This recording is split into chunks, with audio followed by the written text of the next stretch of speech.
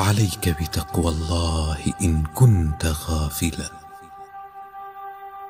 يأتيك بالأرزاق من حيث لا تدري.